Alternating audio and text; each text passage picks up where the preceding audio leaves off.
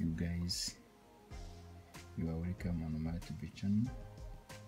So today as i told you it is full funded scholarship which is called ai scholarship program.